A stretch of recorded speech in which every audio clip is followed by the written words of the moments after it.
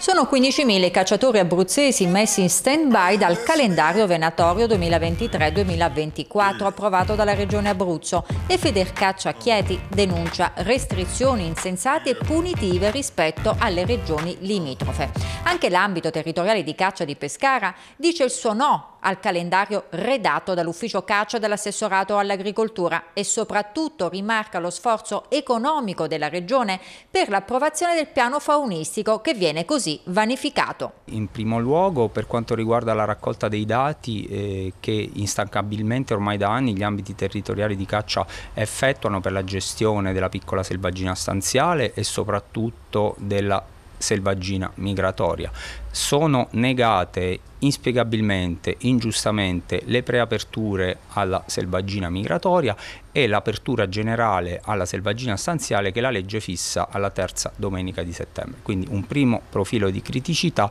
si evince dall'aver la Regione rinunciato all'esercizio del potere discrezionale nella stesura del calendario venatorio totalmente delegato all'Istituto eh, per la ricerca ambientale ISPRA, anzi facendo talvolta delle scelte più restrittive delle indicazioni prudenziali che solitamente ISPRA fa. Sarebbe bastato riprendere il calendario approvato dalle regioni confinanti che, seppur perfettibile, non ha mostrato criticità ed ha garantito un corretto equilibrio tra le esigenze di tutela della fauna e il proficuo esercizio venatorio. Ci sono ripercussioni per l'economia territoriale, per eh, ovviamente eh, il volano economico che la presenza di cacciatori anche delle regioni limitrofe eh, porta all'interno del nostro territorio abruzzese abruzzesi e quindi per l'economia regionale. Vi è di più peraltro che il mondo venatorio del quale io sono esponente sta diciamo, attivandosi soprattutto con le associazioni venatorie e in primis con la Federazione Italiana della Caccia